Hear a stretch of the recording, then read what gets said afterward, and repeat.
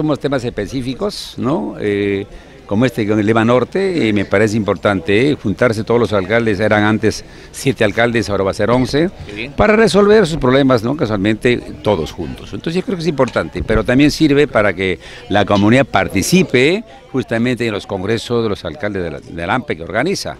Entonces creo que la única institución que para poder a nivel nacional trabajar y eh, hacer los proyectos y decirle al gobierno central de turno eh, es pues la AMPE, es la única asociación de municipales del Perú que está inscrito en los registros públicos, está inscrito en la ley orgánica de municipalidades, por lo tanto no se contrapone. Yo creo que haya, que haya las mancomunidades a nivel nacional está importante. Esta iniciativa del Eh, alcalde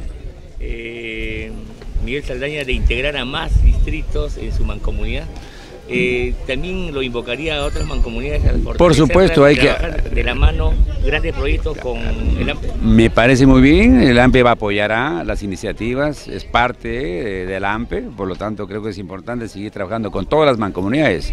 Invitamos pues a todos los, eh, ¿no? del AMPE del, del centro, del, del, ¿no? de ANCAS, de todo, se junten todos, así que acá no hay color político partidario. Desde aquí también es importante decirle al día siguiente de nuestra elección, nosotros tenemos que abrir las puertas y trabajar con todos los vecinos, no solamente con lo que te apoyó.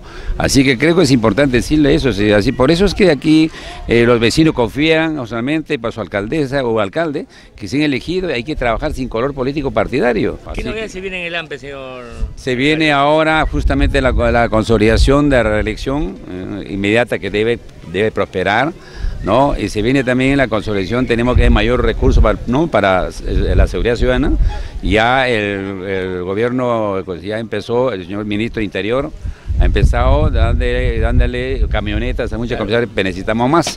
Necesitamos camionetas, necesitamos radio tetra, eh, necesitamos también cámara de vigilancia a nivel nacional, por lo tanto creo que para poder aportar eficientemente. Los alcaldes quieren tener las herramientas necesarias para buscar el desarrollo integral de sus ciudades. Entonces por eso necesitamos, ¿cuáles son las herramientas? Camionetas, cámara de vigilancia, radio tetra, más recursos, etcétera, etcétera. Entonces, para parar este flagelo que está avanzando. Sí. Alcalde, con respecto al aumento de inversión que pide la AMPE, ¿cuál es la opinión respecto a que muchas municipalidades no cumplen con la inversión de, de obras?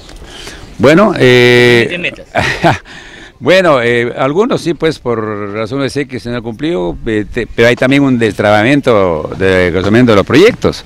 A raíz de Andahuelas, que 45 millones consiguió de Foniprel para hacer el agua de Saba en la ciudad, y eh, el alcalde que salió en nueve meses no pudo concretar, el alcalde Narciso empezó de nuevo y por lo tanto avanzó al 32% y lo demás la ha hecho extornar. En tres meses no se puede terminar pues 45 millones. Entonces le ha hecho extornar, devolver la plata y menos mal que ahora ya explicando al presidente de la República, tuvimos, la suerte de tener, cuando se formó la macroregión Huánuco, entregarle el documento al presidente de la República y ya ahora se destrabó. Ya eh, ahorita eh, ya regresa la plata y a raíz de eso se ha destrabado más de 130 proyectos. Eh, el fondo de contingencia también hemos luchado bastante antes que se vaya el señor presidente Ollantumala para que vayan a todas las regiones y gobiernos locales. Hacer 1.800 millones, más o menos, no, perdón, O sea, el AMPE ha 2.800 logrado millones. Por supuesto, lamentablemente que no se ha publicitado tanta cosa que se ha logrado. Alcalde. Así que creo que es importante, Alcalde, sí. Por otro lado, ¿cuál es la, la actitud que está tomando la AMPE con respecto a muchas municipalidades que tienen actos de corrupción? Una de ellas, la municipalidad de Ticapampa, en Huaraz, que viene teniendo muchos este, cuestionamientos por parte de, de su alcalde. Bueno, en primer lugar, nosotros decimos al Ministerio Público, al Poder Judicial, que se castigue a los alcaldes corruptos.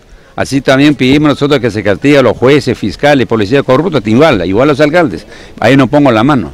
Pero también hay que tener entender que no nos pone al mismo costal a todos. A raíz de Chiclayo puede ser uno, dos, tres, cinco, diez, quince, y por 15 o 20 alcaldes o municipios que han fallado, vamos a echar a- a- al mismo costal a los 1871 71 autoridades, de ninguna manera. Así, por lo tanto, hay alcaldes exitosos, así como ahora que hemos visto en, este, en esta juramentación, y a nivel nacional, alcaldes innovadores, que por la Sierra Exportadora está haciendo varias cosas importantes.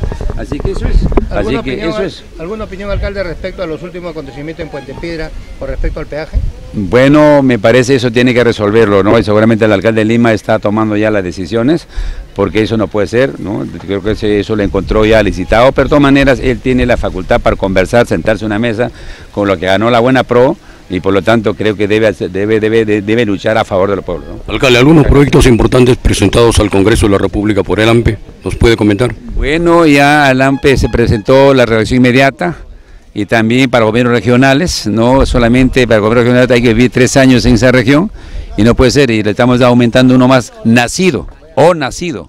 Y por lo tanto creo que es importante el que nace ahí, el que estudió su primaria ahí, que estudió secundaria ahí y puede regresar ya preparado, ¿no? con todo el currículum que tiene para hacer un buen trabajo. Y ahora no lo permite, pero si un extraño que nunca vivió ahí, nunca nació ahí, nunca estudió ahí, vive tres años, sí puede ser. Es un error, eso también se presentó eso, ojalá pues que se discuta ahí en el,